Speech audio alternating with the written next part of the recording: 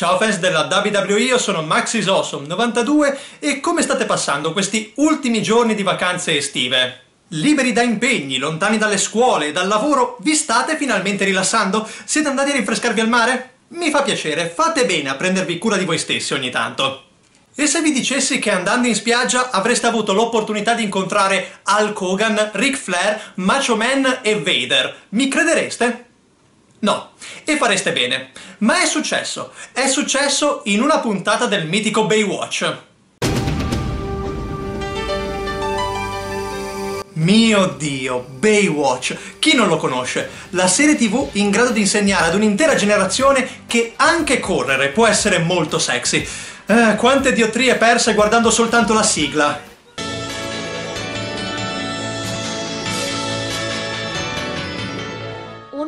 Lenti, ma che fisicacci! David Hasselhoff, Pamela Anderson e compagnia bella non sono semplici bagnini, sono il cuore e l'anima di questa spiaggia, l'elite dell'elite. Proteggono quando altri non lo fanno e sanno andare oltre. Eh, scusate, è che proprio non sapevo come parlare in modo non ironico di Baywatch, così mi sono messo a recitare le frasi del film con The Rock. La cosa che più mi faceva impazzire di questo telefilm, durato ben 11 stagioni, è che non si limitavano a salvare chi annegava. Nell'arco dell'intera serie, in quella spiaggia, c'erano casi di rapimenti, omicidi, traffico di droga, traffico d'armi. Quei bagnini erano più impegnati dell'FBI e della CIA messi insieme. Questo non è salvare le persone! Questi sono frigoriferi! Questa è Baywatch, bimba! Ma questo è ancora un canale dedicato al wrestling. Ecco perché oggi daremo un'occhiata alla puntata di Baywatch con protagonisti i wrestler della WCW.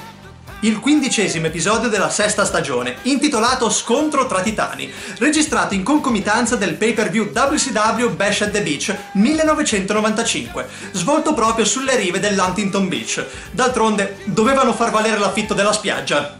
Pensavate che Infinity War fosse il crossover più grande di sempre, ma quello tra la WCW e Baywatch è il crossover che non sapevate di volere, preceduto solamente da quello dei film della WWE con i personaggi di Anne Barbera. Ma basta perdere tempo e tuffiamoci a bomba in quel meraviglioso periodo storico conosciuto col nome di anni 90. Questa è la puntata di Baywatch con protagonisti i wrestler della WCW, Bash at the Beach, scontro tra titani. Tutto inizia con Hulk Hogan e Macho Man Randy Savage impegnati in una gara con le moto d'acqua e nemmeno dopo 10 secondi dall'inizio dell'episodio abbiamo già la prima inquadratura in slow motion.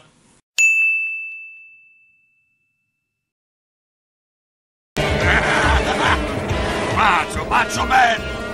Immaginatevi il doppiatore che ai tempi, senza magari saper nulla della gimmick di Macho Man, si è trovato costretto a doppiare con quell'enfasi Sì, Macho! Macho Man, sì! E niente, mi fa ridere. Ma i dubbi sull'eterosessualità dei personaggi vengono subito eliminati quando l'Hulkster prova a rimorchiare una bella ragazza. Ehi, guarda che bambola! Ehi Hulk, ti trovo davvero Ehi, sister, vuoi vedere l'Andre the Giant che ho nel costume? Ricordatosi di essere nel bel mezzo di una gara, Hulk lascia perdere la bella bionda e tenta di raggiungere il rivale, ma per un'onda perde il controllo e finisce in acqua, tra l'altro eseguendo una fantastica Flying Elbow Smash. Mi chiedo come mai non l'abbia mai implementata nel suo moveset, ma forse perché se ne è dimenticato subito dopo per via di un trauma cranico. Le bagnine si accorgono dell'incidente e si precipitano a soccorrerlo. E poi c'è chi dice che Hulk Hogan non voleva mai perdere, ma intanto guardate come sta mandando over ben sei ragazzi in una botta sola. E una, e due, e tre!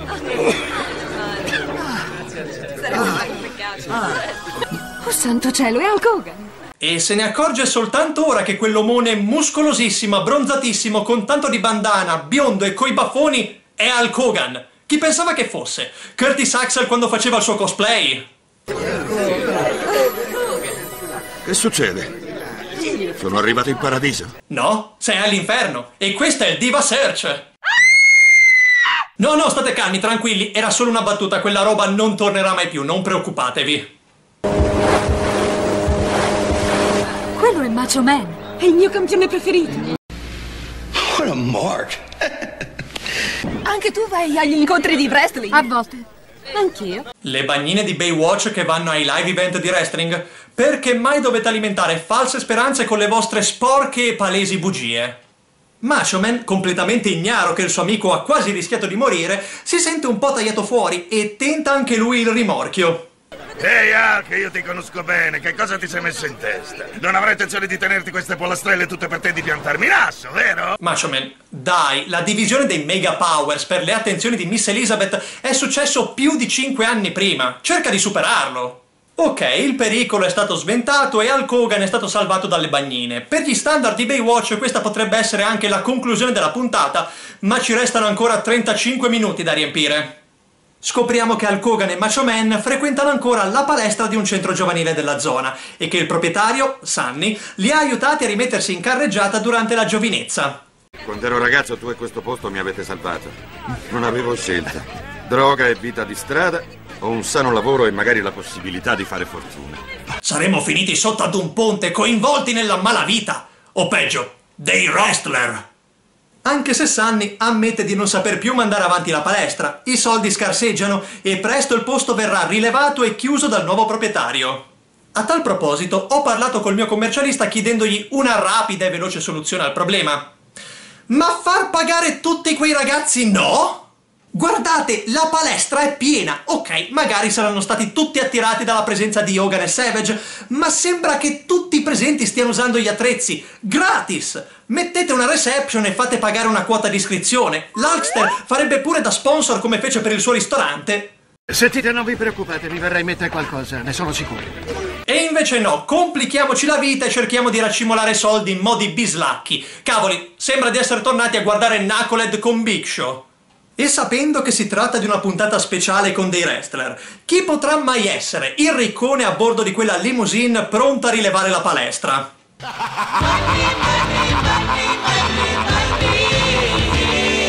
Per quanto mi piaccia l'idea, purtroppo no, a quei tempi Ted DiBiase non era in WCW. Il proprietario, eh? Il Nature Boy li informa che è stato lui a rilevare la palestra. In sostanza è il cattivo proprietario pronto a sfrattare se non gli si danno i soldi. Dove l'affitto? I soldi dell'affitto? Dollar Penny e Nicolin mi servono tutti adesso. Ed ecco a chi si è ispirato Tyler Breeze nella Southpaw Regional Wrestling. The farm is for sale.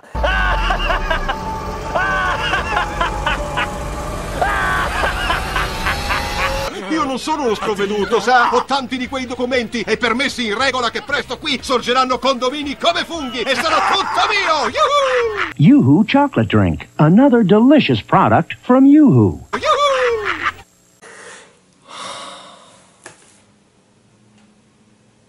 Yuhu? Yuhu? Chi l'ha curato l'adattamento? Gualtiero Cannarsi! È anche peggio di quello di Evangelion su Netflix!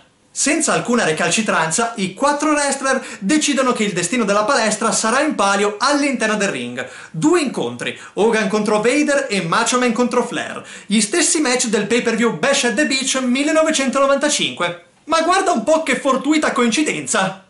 Che coincidenza incredibile trovarsi qui, eh?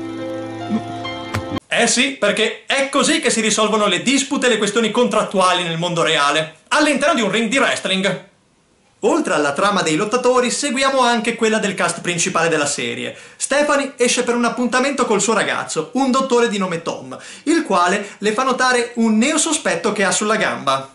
Senti, domani mattina vieni nel mio studio prima di cominciare il lavoro. Non ti dimenticare. Cavoli, siamo capitati all'interno di una puntata sul cancro alla pelle e sui rischi della troppa esposizione ai raggi solari. Per fortuna che hanno modo di mostrare anche dei corpi sani e assolutamente normali. Eh, mi scusi, posso vedere? Guardi che questa è senza filtro solare, dovrebbe usare una crema protettiva se non vuole scottarsi. Grazie. Eh, lo so bene, sono pallido quasi quanto Seamus. Tutte le volte che vado al mare mi cuocio come una ragosta. Non usate una crema protettiva? No. Dovreste metterla invece.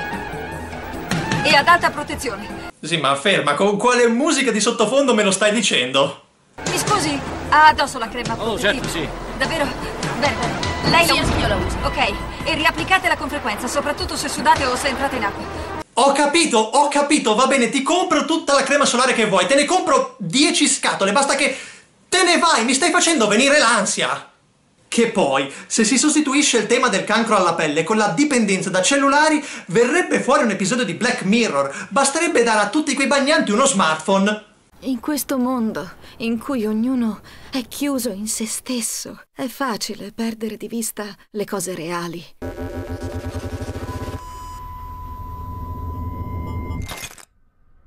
Come recuperare da questa botta improvvisa di ansia?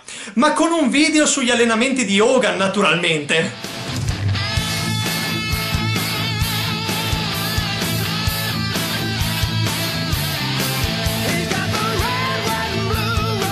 Ok, sarà anche forte ed altruista, ma non credo che l'Alexter si sia mai addormentato abbracciando un cuscino con i colori della bandiera americana.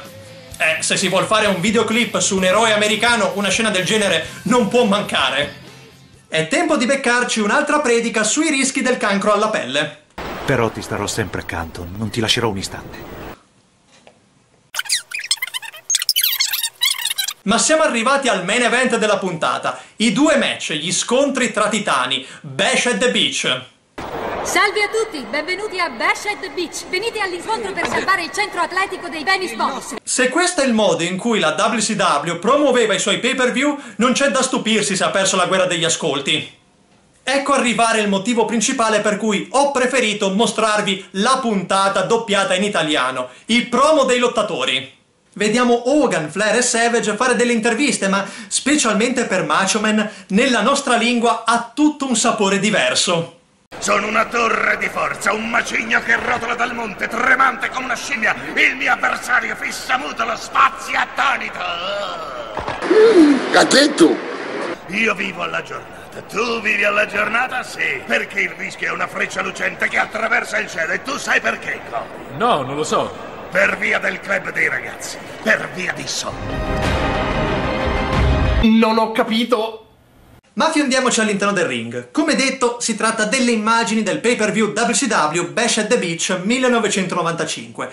I due match, Flair contro Savage e Dogan contro Vader, sono realmente accaduti, ma qui ci vengono mostrati sotto forma di highlights, con degli effetti audio poco poco stereotipati, per non dire che sono stati presi pari pari dai film di Bud Spencer e Terence Hill.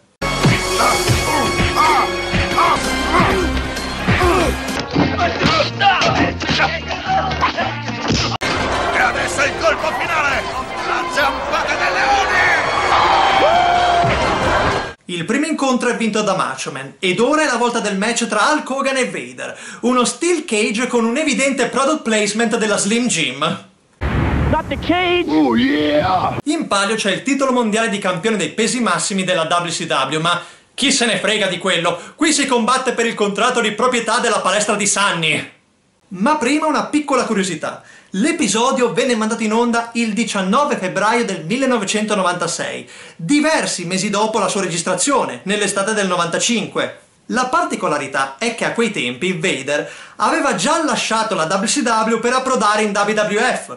Poche settimane dopo la messa in onda della puntata avrebbe pure preso parte a WrestleMania 12. Questo significa che nel bel mezzo della Monday Night War, Baywatch è stato teatro di uno scontro interpromozionale tra le due federazioni. E vi prego di non stupirvi se vi dico che questo è meglio dell'intera Invasion. L'Alkster riesce a sconfiggere il mastodontico Vader, potendo così concedere a Sunny il contratto di proprietà della palestra.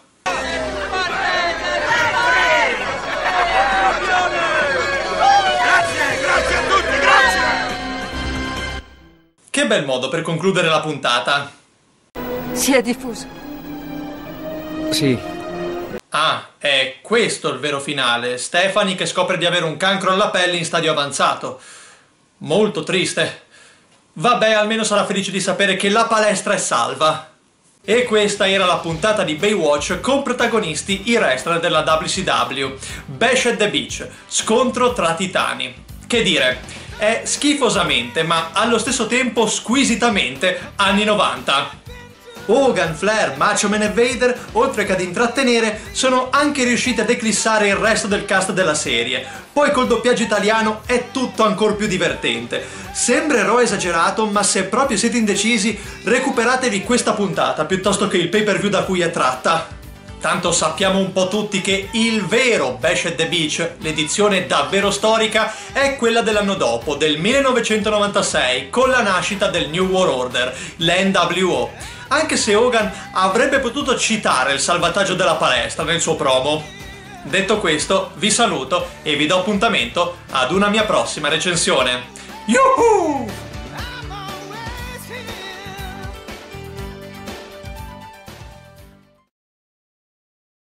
Sei stato fortunato. L'acqua scooter ti è caduto addosso, potevi morire. Tesoro, mi hanno pestato più duramente sul ring. Ma rifaccia il piacere!